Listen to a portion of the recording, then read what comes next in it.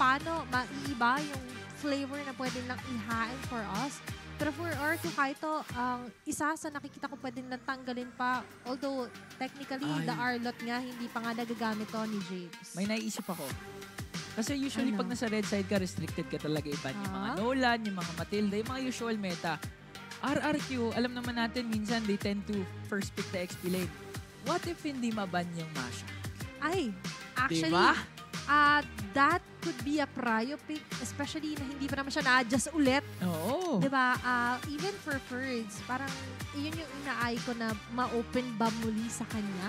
Pero let's see, for Echo Proud, ang kailangan din nila i-open yan if ever man. Pero so far, things are looking good here on the bands. Nolan pa rin talaga ang tinitingnan ko. Kasi for me, uh, Igan, aside from the Masha, ma-open or i-bait man ng Masha ng Echo Proud yung RQ Kaito, I believe na mas gusto nilang kunin yung Nolan kung sabay na ma-open yung dalawang yun. Tama, tama. Tsaka at the same time, no, hindi pa rin talaga pinapahawak ng Echo Proud itong si Danjiro. Ang signature back siya niya. Yeah. Kasi pag back siya si Danjiro, halos sure win. 100% win rate ba naman? 7 Ay. times siyang ginamit. Oo. Di ba? At hindi mo gusto na ibigay pa ngayon, lalo na we're down to the last game for the first match. First match pa lang to, Ingan. And so far, the Louis is also open pa rin for R to hire right now. Hindi pa nababan niya ng Ekprod. So, ah Oy! ngayon, Ingan, safe to say, baban yung Masha, walang Masha for the third round, pero yung Nolan at Louis ay open pa rin. Alam ko yung pipick ni RRQ Kaito, Ano? Birds. Ruby. Ruby? Calling it, magro-Ruby yan. Oh. No joke. Kasi wala na yung ano, di ba? Wala na yung Pakito, wala, na yung Arlot. Ruby na yung next in line para kay Birds. Tignan natin, ha? Nakita mo ba yung ano niya, early game I'm offended, apat na huli niya kahapon? Ay, oo, kakaiba talaga. Sabi, nagalit siya, Nagalit nakawala siya na eh. yung hero niya. Nagalit siya eh. Although, medyo namatay sila sa time na yun. Pero ang ganda pa rin. Highlights pa rin yun. Apat It's na still the play. niya. Actually, pwede siyang lumiko dito on the next board. Even at Terisla, hindi pa naman nila ginagamit pa to. Oo. Pero let's see. Is it going to be the Ruby Prio for RQ Kaito? Remember, Nolan May Nolan Louis. pa. Nolan Nolan. Talaga. Yun yung in-expect kong makukuha first phase pa lang ingan. And I believe for RQ Kaito, pwede nilang unahin yung Nolan. Just to Pwede. prevent here, uh, prevent the Nolan falling onto the hands of Palos. Tapos Echo, Louis Claude, no? Oh! Oy! Oh! Dahil open pa yung kulot ni ano? Ni, ni. TZ. Ang dami. Ang dami. Siya kasi siya tsaka Nathan eh. Pero Di yan na, Nolan. Yan na, yan okay, na. yung Louis. Oh, Louis Kung Claude. hindi kukunin ng Echo Proud yung Louis, I'm calling it. Kukunin Kukunin, to na ng, ng RRQ. RRQ. Ah, Kaito. Kaito, agree. And- Looking at the ano pattern na, Denjiro actually used this Nolan pang isang beses pa lang, pangalawa na to. Kasi nga, sobrang rare natin nakikita na lumalabas yung Nolan sa draft. Parang Zenith skin Na na-open. Rarity. High rarity. Ayan na. Louis Claude. Echo Proud, this is your chance. Is it going to be a Louis first Prayo onto your side? Game, ano no? Game lover connection. Aizawa Yuktisi. Louis Linawin ko lang, hindi po kami naririnig ah. Oo, oo, pero... I expect nila naririnig tayo. Pwede. Kayo, naririnig nyo kami. Kaya ako naririnig nyo kami, flood nyo na yung heart. Perfect opportunity. Pwedeng pwede. Minotaur. Mino. Roger! Ay! Okay, okay. Wait lang. Louis ngayon, pwede nang kunin ng Arco Kaito. Sige nga, Oo. sige nga. Louis Claude. Okay, Yuktisi. Ro Roger ngayon. Gets, maganda naman. Concept is, magtatrabaho yan muna. Hindi mo na yan sasama. But at the same time, mamaya mararamdaman mo yan. Pero for Echo Proud, since kumuha kayo ng Roger, kailangan high, high poke, high damage yung magiging mid laner mo for Aizawa later on. Tingnan natin ha. Marami pa rin naman mga open such as sa Vexana. Ay, oh, hindi pa niya nagagamit. Ang dami pa. Lilia, Nana. Diba? May Faramis pa po na pwedeng gamitin dito ang Echo Proud. I would just like to point that out. And for Arco Kaito, sila naman technically yung hindi po pwedeng gumamit na nung Faramis kasi ginamit na nila yan nung game Ginamit number na one. win yan eh. So, right now, they're contemplating, give it Coach Pa right now. Hindi naman confused. Kasi planado na nila to ahead of time eh. 'di ba Lahat nga ng team may pinaghandaan nila. Pero ngayon, na naka-lock in na nga lang din yung first pick and first two picks for Ek Proud Ingan. Ngayon, I believe parang hindi na sila magre-rely Ayan na! Ayan na! Tama ka! At sabi ko nga sa'yo, I called it. Sige na! Sige na, Sai! Ay, Teres Trisla! din! Sabi sa'yo eh! Okay, 100% pick ka ngayon ah. Okay. Okay, gusto kasi nila Galing ano ah. eh. gusto nila tapatan yung Mino in terms of ano, set. Pero, ay! Wow! Kaya pala, pinakawalan yung Louie. Yung funny, bibitaw kay Palos. Nau, ang ganda ng ano. eh, So, so it- itong Kaso, ito lang ah, ingan yung sabihin ko dilema for a funny. Oh, ano yan? Malikot ka, ang dami mong moves. Kaso ang bilis ka masusundan kasi pagka, kunyari, nagki-clear funny sa top, may diversion play bigla. Pwede kang Oo. maano eh. Pwede kang ma, ma, ano, eh, Ma-caught off ma- guard magulat bigla. eh. Oo. Pero ang maganda dito naman sa Echo, hindi na nila kailangan problemahin yung Yeah. Chow. Dahil sa global ban, ginamit yan kanina ni X-Nova. Wala nang Chow na pwedeng pumigil sa Manny. Kaya tatanggalin nila uli ang isang Katja Franco. Katja. Ay, grabe tong hingan. wow. Ang natitira dito na option for Sai is actually the Claude or even the Brody. I think bagay to. And yung Valentina ni Aizawa, itatanggalin na nga lang din ng Arco Kaito just to prevent na makopy yung diversion na pwedeng gawin na Oo, nga ang lang hirap din. nun. Diba? Ah, actually, ah, yun yung in-expect ko. Sana na pwedeng kunin dito ng Echo Proud. Pero let's see. Tansya ko, para Lilia na tang... Ay na, wala nang Louis Wala na. Claude. Siyempre, wala eh. Kasi sabi natin eh. Tansya ko, ano eh. Lilia or Paramis, tanggalan nyo siya Isawa eh. Huwag nyo kaya mag-dominate si Unkillable Killer Mage Season 2 regular Tanggalan ng season wheel, MVP. no? Kumbaga, binigyan ng kotse pero walang manibela. Pero wala, mahirap yon. Ah, Pa- oo. paano may control yon? Mind. Men, idedede, idedepaan mo yun pag ganun yung resulta eh. Pero ngayon ah, RRQ Kaito last ban, they opted for the Valentina. Meron pang Faramis and Lilian na pwede gamitin si Aizawa. Or pwede silang sumarado ng hero ni May James. Vex pa pala, may Vexana pa pala. Ah, pwede silang magtanggal dito ng Lapu na hero din naman ni James and technically pwede nga nilang i sabihin na natin somewhat bawasan yung pwedeng gamitin nga ni James kasi ginamit Lapu niya na kaya kinto, no? Terisla Ay, sisi. and even the X-Borg the CC is down sabi sa'yo James ang kanilang i-restrict na muna Hindi nyo pwede kasing kalimutan si The Mountain eh. Honestly kasi all-star team tong Echo Proud din kung titignan mo. eh. eh lalong RQ Kaito Di ba? RR, oh, RRQ Kaito din. Oo. Ah, All-star pala tong lahat eh. sige sa Lahat inyo na. na bigyan ng star yan Lahat na, lahat na talaga. diba Okay. at XP, ngayon XP mid na lang kulang ng Echo. tingin ko pwede magpakita eh Pakito na lang talaga ulang or lapo eh. Oo. Ah, I believe, wow. Or sila yung mag-Ruby, kaso ma-overload naman sila onto the setup for Echo Proud. Ay, oo nga pala, Di ba Ruby. nagro-Ruby din to si James? sabi ko ni na Ruby, maganda din Ruby ah. Benedetta ni James. Tingnan natin. At technically, Parang brusco na kailangan mo pag ang dami niyang pwedeng eh. gamitin. Yung Tamus din, di ba? Pero Lilia for Echo Proud ang kanilang kukunin. Ayun na, ayun na, Lilia ni Ai. Ang King Kalikutan. So may pang early game, may pang late game ngayon ng Echo Pro. Le- long game na naman tayo, Tina, ngayon.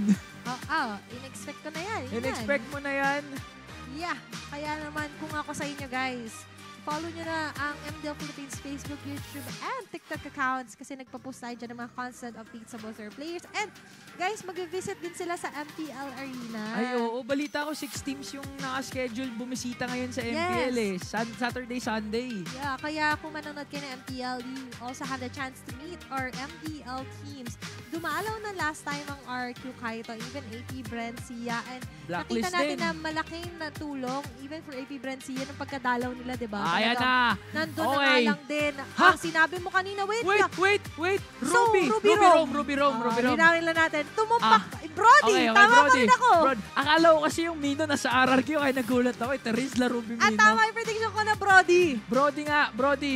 Ang gusto nila pero Yusong! yung... I mean, ang dami natin binigay na explainer Yusong pala. May Yusong pa pala dito si James. Kasi di ba sa Echo, Loud, sa MPL, oh, Yuzong ni Sa. si San, si ano eh, si Fordy eh. Di ba? Eh, syempre, Tapos still sa ano under the naman, same roof. Ah, same roof. The same uh, org. Oo, sa, sa bagay. Sa, sa, sa Paranaque ba yun? Oh. Sa para, Paranaque. I-reveal yung ano, yung bootcamp ng mga players. Si Joshi yung nag-reveal kahapon pero the draft is set for game number 3. A lot is at stake for RRQ Kaito. Top of the food chain, will the win streak continue?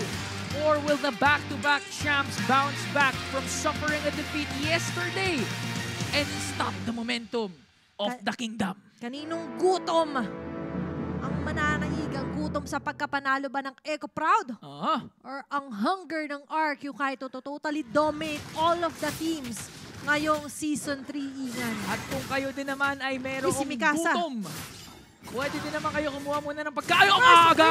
Ang aga na patayo Ano ako sa aking upuan. Men, Wala gutom. pa, wala pang naglalakad dito. Hindi pa nga napapakita yung emblem set, yung TZ, umisa ka na. si Sai pa yung kinuha mo. Sabi nyo kasi kanina, ano eh, hirapan kami. Game 2. Eto, maaga. Oh, actually, both games kanina, hirap na hirap yung Echo sa early game. Oo. Ngayon- Technically, yung game 1, sobrang ano yun eh. So, nine, Dikit. na- nag 9k gold lead pa yung RRQ ng Yeah. game 1 eh. And it, that's hard. Kaya yun yung payo ko sa mga nag-RG dyan. Huwag nyo susukuan agad. Puro killing spree yung ano, oh. Mga emblem natin, oh. Ay, pu- ay, assassin pala, custom assassin emblem, oh. Yeah. Oh. Pero, nandito na naman ang kalmot. Pero makakaligtas si Sai with the help of X-Nova as well. Mingwin mapipilitan na swing left. Kailangan nyo pa ba ako? Need me, need me. No, no, no. No, no, no. Hindi na, hindi na. Ang kagandahan dito sa lineup ng RRQ Kaito is they can rely once again kay Ferds in terms of initiations. And if ever pumasok etong sila James or setup from Ishkael, meron silang ex-Nova na Ruby na pwede namang i-disrupt yung pwedeng gawin ng Echo Proud. May Denjiro ah. Hindi pa rin nila nakita na nandun pala si Oy! Aizawa. Oy! Si James! Grabe naman yung outplay niya doon! Nadali. Nadali ng Yuzhong. An anya, grabe yung siya energy niya doon. Oo eh, sinalo lahat ni De- Denjiro eh. Yung akala mo si Denjiro dapat yung makakalamang doon. Si Nabaliktad James pa. And remember, may petrify din kasi siya. Si James na already, it came in handy the moment that he needed it the most. And right now, sakto pag-respawn ng first turtle. Apat na miyembro ng Echo Proud ang nasa vicinity habang si Sai hindi rin naman siya basta-basta makakabukod ng linya. Oo. Bantay sarado kay Yukizi. Bantay sarado muna yan. Talagang expect natin. Dapat nga si Yuktizi hindi makaka first blood ng 30 seconds eh. Pero si Yuktizi yan eh. At ngayon, Echo, focusing Meron ba muna sa tayong buffs. record doon? Fastest first blood? Fastest first blood eh, no? diba? Parang, ito na ba yun? Hindi pa ako sure eh. Mamaya, masusure natin yan. Sige, check natin. Pero sure ako contender yung ginawa ni kanina. Ah, he's a strong contender for that one. Pero ko-contend. Ko-contest to ng RQ Kaito. Pinatunog. Pinalakad lang ni Ishkael. Oo. Okay, pinalakad. Testing lang, testing, testing the waters. Pero dito na nga, nakuha na ni Palos yung kanyang dalawang buff. So Nandiyan ready pa nang rin. makipagsabay ng Echo Proud. Technically, hindi nahuhuli pa rin naman sa level si Denjo. Tingnan mo, level 6 nga siya. Magle-level 6 pa lang si Palos. Oo. So kahit na namatay Nauna nga pa, siya no? doon ni James, tuloy-tuloy pa rin sila. Ang agang ginamit dito yung Red Dragon form for Echo Proud. Pero yung Turtle, masasecure dito ni James. Habang si Ishkael, mapipilitan tumabog. Wala tatamaan, pero tatamaan na nga lang din ng mga blades. I see bird. Nakakatakot dito, James pa nga ang nakakuha ng turtle. At the same time, mahihirapan mamaya yung RRQ Kaito actually mag-retreat. Kasi may Fanny na hindi nila mako-contain. Yeah. Al- although may Ruby sila na pwedeng mag-Don't Run Wolf King tuwing papasok yan.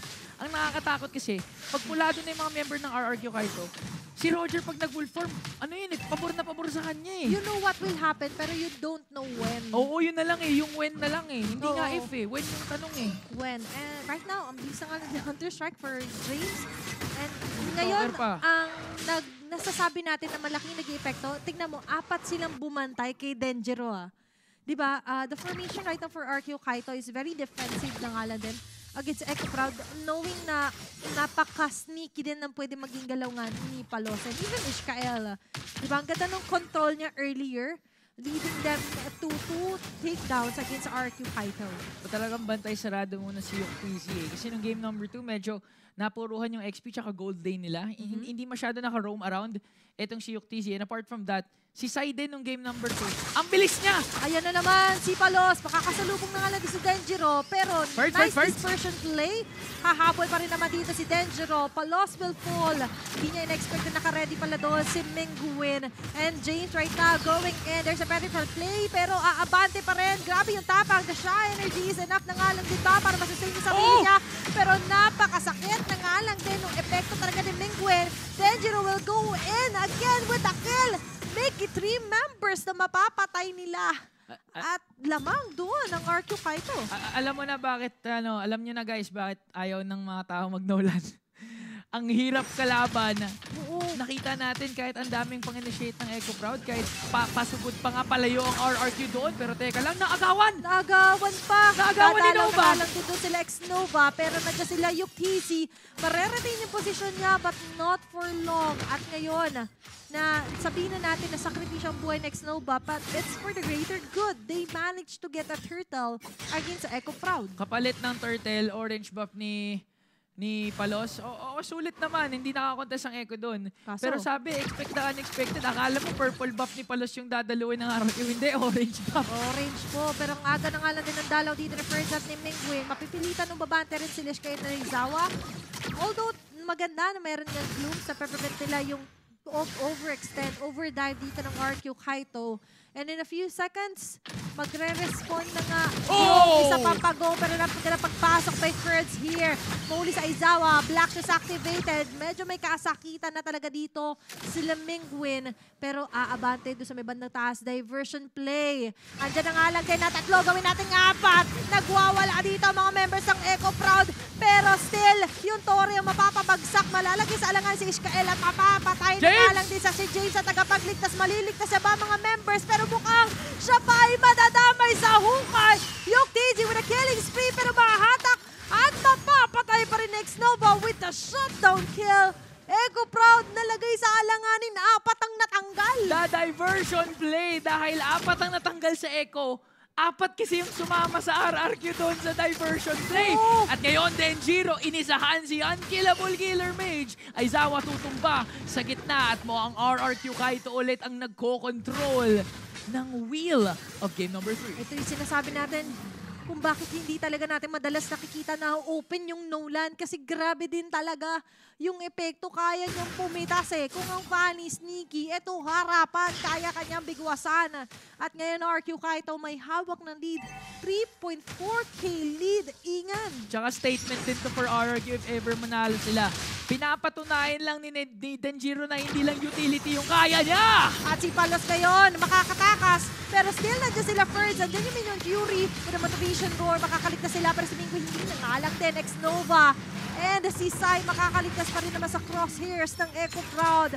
Pero at what cost, Ingan? Another trade, a turtle para sa buhay ng isang miyembro ng RRQ Kaito. At eto na yung delikadong bush na pinaparating tinatambayan ng mga Nolan eh. Nakikita natin si Denjiro, nag-aabang yan. Whether Aizawa, whether Palos or Yuktisi, pag dumaan yan sa bush na yan, mababurst down ka agad ni Denjiro. Kailangan niya maglagay ng Angry Glooms. Alam ba niya ito? What's the call for RQ Kaito? Nandiyan na rin sila Yukizi. Nandiyan nagdidikit-dikit dito ang mga members. Ay, nakita. Nice, Nice nice. check for Echo Proud. Pero yung diversion play, wala namang sasama. Pang! Psycho lang ng Nice. Kaito. Nice ano ah, Gloomstone for Aizawa. Alam niya, nag-alam din niya yung galaw ng, ng isang Denjiro na Nolan eh. Usually kasi nga doon sumatambay at nakakita na tayong ilang highlights na nakakapatay ang isang Nolan doon sa bush na yon. But for RRQ Kaito still, they're still controlling the map, everything. Pabor na pabor sa kanila ang lahat in terms of turret pushes as well. Magbi-BOD pa. Mas magbi-BOD pa nga sila dito, pero teka lang. Pero Nova, Nova? maganda yung position ngayon ng RQ Kaito. And for me, nakikita natin na talagang sila ang may lead 8 to 6 kill score. Lumulobo pa ng gusto yung gold lead na meron sila. Even under controls sa mapa, sila din ngayon na nakakalamang. Kasi kita mo ah, si Sai, namatay man siya ng dalawang beses. Pero ngayon, hindi na siya masyado nasa sight ng Echo Proud. Tsaka laking epekto talaga ni Mingwin with the Louie. yung diversion play talaga yung nag-extend ng lead eh. Yun yung turning point na RRQ Kaito na talaga yung clear na lamang sa laban na ito as of now. Kaya kanina talaga, sinasabi ko na, wait lang yung Luigi talaga Denjiro? ni Mingwin. Game changer. Pero si Denjiro, he's just testing the waters. And so far, Echo Proud, they're, they're left alone na nga lang din sa base nila. Hindi sila masyado makakapag-overextend. At ngayon, medyo delikado na naman ang buhay nila at nag-respond na ang unang pagong. Uy! Black Shoes na proc na agad from Aizawa. Na-proc yung Black Shoes sa Crucial to Scale. Pumasok pa naman ng One Fury. Pero walang tatamaan. James ang pipilitan mag-Red Dragon form. Dalawa ang mapepetrify. Nandyan yung play. Pero yung damage ay hindi magiging enough para makapatay ang members ng Eco Prom may salubong pangalan ang nangyari. At mapapatay pa ni Zaido si Aizawa. Ishkael will fall as well. An unstoppable kill for Dejero. Yung diversion play na naman ni Minguin. Grabe. Ang nag-extend ng kanilang kalamangan. Walang trade ang mga Orcas doon. And the best part is RRQ. Meron pa silang Lord na pupunta sa top lane. At ngayon, tila bang ibon na tinanggalan ng pakpak si Palos. Hindi na siya basta-basta makapaglayag. Ito yung weakness talaga ng isang Fanny. No purple buff. Talagang hindi siya mag-activate. Hindi siya basta-basta maaasahan pa pagdating sa team fight. RRQ ngayon focusing on the middle lane turret at kayang-kaya nila ito papagsa- papagsakin next Nova. Kumahanap ng angulo para makaset. Kinamit na nga onto Ishkael. Uy, pero itutuloy nga ba ni Denjiro? I don't think so. Aantayin nila yung Lord Ingan. And this might be the last push na nga lang din na kailangan ba ng RQ Kaito. Lumobo na onto the 10k gold lead. Si James ginagawa ang lahat para i-clear. First Lord pa lang to, pero ganito nakahirap agad ang Echo Proud. Butas na butas na ang base ng Echo Proud. Isang inhibitor turret na lang sa baba ang natitira. Meron silang enhanced minions sa gitna. Will they be able to tower lock or at least get a kill? Pero discipline, disiplina muna para sa Kingdom. Grabe din kasi yung passive eh. Pag nagdidikit-dikit sila because of that blue yiingan. Yung narrow rotation Yung dispersion, vacuum eh. Naba-vacuum lahat eh. Diba? At hindi lang siya basta vacuum, may damage din po kasi. And looking at the gold or top two gold earners right now is from the side of RQ Kaito. Habang ang Echo Proud ngayon ay medyo onto the low side dahil nga hindi na nga sila makalabas. Even palos na in-expect natin for a funny na maaga sana makapag-snowball ay hindi nangyayari. Diversion play dito sa orange buff. Nandiyan sila Denjiro. Aagawan nila si Palos. Ang kagandahan naman dito sa side ng Echo Proud is kinakailangan ng RRQ ng Lord para ma-end tong laro dahil meron nga silang Lilia na sa kamay ni Aizawa. Alam naman natin na in terms of clear wave, superior na superior ang isang Lilia, mas lalo na pag nakapag Kaso hindi kasi yung clear wave ang kailangan nila. They need kills right now and they cannot provide that so far kasi nga kinakapos talaga sila sa finishing move. And even Ishkael, wala siya masyado nauhuli. And technically, okay sana yung mga minion uh, play niya, Minion Fury, Dabog. Pero looking back, no, ang ginagawa din kasi ng RQ Kaito, isa lang ang nagpo-proc sa kanya. It's either Exnova or even Purds. And you want to use that onto a macro play pero nagiging micro. Baited sila dito ng RQ Kaito. Okay, walang purple buff etong si Palos. So, most likely, hindi na sila ko-contest para sa Lord na ito. Naniniwala sila na kayang-kaya nila depensahan ang potential push na pwede gawin ng RRQ Kaito along with this Lord. And at the same time, kailangan kasi talaga nila bantayan yung base, yung diversion play. Hindi na sila makakalapit. Oo, na pwede mangyari kasi delikado din talaga. And Ang RRQ secures the Lord. nila doon. Next no ba? Abante pa lang doon si ano eh. Oo. Si Palos eh. Victor sabi, oh sige, sige, Sige umamba ka. ituloy mo yan. May petrify ako. 'Di ba? And imagine, unang Lord, ganun na yung epekto sa Echo Proud. What more with the second Lord, Ingan? Grabe na. Kailangan, kailangan ng ma matatag talaga na depensa from the back-to-back champs, the Orcas. They, if they can pull this off, napakagandang feat ang kanilang ma-achieve as the streak enders ng streak ng RRQ Kaito. Pero ito na nga, nag-conceal na si. X-Nova. Umaabante na. Denjiro, pumasok Oh, rin! Si James ang pipilitan gamitin ng alang din yung kanyang Dragon Form. First, medyo pula ng buhay pero mukhang gusto na tapusin yata ito ng RQ Kaito. Makakasurvive. May isang tatama ng Minion Fury. Matutunaw man yung Lord. Pero kita mo naman halos mapulahan. Halos mahirapan. Gusto talaga dito ng Echo Proud. Madedepensa nila, yes. Pero yung TZ, medyo napalalim siya doon. Uy, torn apart memory, munti ka na. Pero eto na yung sinasabi nating defense potential ng Echo Proud. Walang napitas sa kanila. Nawalan nga sila ng inhibitor turret sa baba. Pero that was a level 2 Lord in the hands of RRQ. Pero na diversion play! Nako, nahuli to si James at mukhang ito na nga yata ang Proud. Dahil isa-isa na sila pinapatumba. Make it one, make it two, make it three. Apat ang mawawala. Si Aizawa matitira. Pero RQ Kaito tatapusin ang laban nito with a 2-1 score. Not 1, 2, 3, 4, 5, 6, 7, but 8 wins para sa Kingdom as they take down the defending champions. Grabe! Sneak peek na ba to, Ingan? Ito na ba? Ito na ba ang glimpse of the playoffs, Athena? Grabe! RQ Kaito, they're unstoppable! Magtutuloy-tuloy pa rin ang kanilang series streak. Win streak po sila. Wala pang team na makakatalo sa kanila on na single series. Ang na-game, oo. Pero, ingan, on na series. Hindi pa. Isa na lang yung game nila eh. Isa na lang, 10 teams tayo. Pang, oh, so isa na lang. Isa na lang at yun ay Wait lang, hindi, ka- Minana! Minana na lang ang natitira. RRQ Kaito can Woo! actually pull off a loseless season. tingnan natin. Pero, ingan on the that performance. Grabe. Yung calibers, walas yung draft. Grabe, gusto ko lang, big- hindi lang player. Gusto ko lang i-commend din dun si Coach Pau. Kasi imagine that draft na open yung Nolan. And as well as yung Louie ni Mingwin, dun pa lang masasabi ko eh. Na Kahit ano, no? isarado niya na. Tapos na to. Kasi nahawakan eh. Nahawakan nga ni Mingwin ang kanyang Louis. Alam mo, going back lang sa season 2, parati nating sinasabi for Maharlika nung Maharlika pa si Mingwin na no, no win. I know, Mingwin, no, No win. win. Ngayon, nakikita natin yung importance, yung kagalingan niya, and yung exemplary ano niya, performance as a mid laner. Sinabi kanina Yeah. ni Butters na itong si Mingwin, mid laner talaga. Mingwin came to win.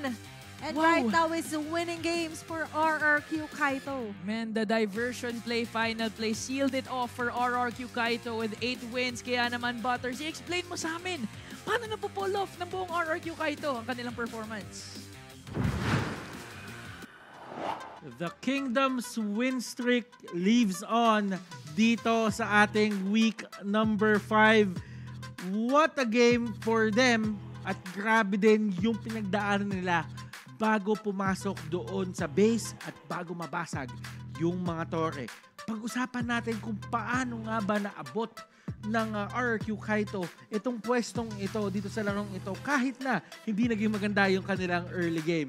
Let's head on sa ating MVP. Alamin natin, kilalanin natin. May mga hula ba kayo? Niyo sa comment section. Nakahula ka na? Sige, pakita na natin. Tingnan natin kung tama ka. It's none other than Mingwin. Four game MVP streak din dito. Si Mingwin para sa kanyang kupunan. Wow! Louis naman ang gamit niya ngayon and it seems to me that Mingwin is just playing out of his mind. Kita natin kung paano niya pinipwesto yung kanyang mga kampe and sa totoo lang, ang mga bagay na unquantifiable dyan, yung mga bagay na hindi mo malalagay sa stats, yung paggamit niya ng mga diversion plays niya. Let's head into the highlights para makita natin yung pacing ng larong ito on the early parts of the game ay hindi naging maganda para sa ng RRQ yung kanilang simula. And this could have been utilized ng kanilang ng side ng Echo Proud. But the main problem is, since naka-Nolan nga to si Denjiro, ibig sabihin, malaki ang tsansa na kapag kadinikdik to ni Fanny at nakita siya sa ibang lane, pwedeng mag-vertical jungle, jungle or umangat papuntang gubat nila yung Nolan. Thus, you are eliminating resources doon sa may Fanny. Kaya naman, si Palos dito all game, makikita natin na talagang nakadikit sa gubat niya kasi hindi siya pwedeng maiwan ng Nolan in terms of farming. Isipin mo yon Nolan is one of the fastest clearers na nakikita natin and this is what we're talking about, yung mga ganitong klase ng paggamit ng diversion. The proper placement, the proper timing, and another one, unquantifiable, hindi mo mabibilang, pero it makes all the difference in the games na nilalaro ng side ng RQ Kaito. Secret weapon, weapon na ginagamit ng RQ Kaito, and yung Kingdom, pwedeng lumabas kahit saan. As you're seeing right now, even on YouTube, literally, literally, RRQ's Kingdom, not only in the Philippines but in Indonesia, is watching right now. So you must be very proud of the RRQ brand, RRQ Kaito. Guys, they are really, really turning up, changing the game. Ang masasabi ko nga to, this might be the birth of a new era dito sa MDLPH Season 3. Looking at ang ating ah, emblems ngayon, mapapansin naman natin na si Denjiro talaga dito is still sticking with that little ignition. Habang kung tutu- kung ah, papansinin din naman, grabe din yung tutok dito ni CY sa kanyang damage output. Alam niya na mab- mabilis makapag-deal ng damage dito si Denjiro. Kaya naman ang kailangan niya gawin dito is tatakan yung mga kalaban and try to go for a torn apart memory. Naging maganda yung start ni Yukpizi dito at ni Ishkael dahil nahuli nila agad si CY. Alam naman natin na napakataas talaga ng kill potential ng isang Roger kapag ka sinamahan mo pa siya ng isang stun. Kasi yung mismong hero, may slow din kasi yan. At siya lang yung natatanging hero at level 1. Well, hindi naman siya lang. Pero siya yung isa sa mga marksman na kayang mag-dish out ng dalawang skill at level 1. So ibig sabihin, it made all the difference. Sadly, it did not work out. Hindi yon na, alam mo yon napatibay or hindi na palaki ng Echo yung lamang noong mga panahon na yon. In terms of the team fight participation, makikita naman natin na Mingwin 87%. Siya ang nag-dictate, siya ang nagturo kung saan dapat pupunta. Pwede nga natin siya sabihin na siya ang utak ng kingdom dito kung pa- paano gumalaw yung mga ano, kung paano gumalaw yung mga general natin na nandito, siya yung nag-set up and sa totoo lang, it's a sight to see. Aizawa played really well. Kumbaga, dapat matatapos tong game na to ng mas maaga kung tutuusin. But because of the Lilia's presence, ay na-prolong nila yung game. Pero ang nangyari talaga is hindi nila kinaya. Palos really tried yung Fanny. Kaso ang pinaka-problema dito is sila Ex-Nova, bantay na bantay din lang kay Mingwin. And at the same time, hindi din naman lumalabas talaga si Mingwin sa kanyang lungga kapag ka bago mag-start yung fight. And there are times na hindi na nga mismo nakakapag-set up ng laban yung side ng Echo Proud dahil binibigla na lang sila dito ng mga members ng side ng RRQ Kaito. RRQ Kaito still undefeated na naeg ang Kingdom. Pasa muna natin sa casters para sa kanilang final thoughts. Maraming salamat, Butters and Athena. RRQ Kaito Grabe. streak is still alive. MDL Season 3.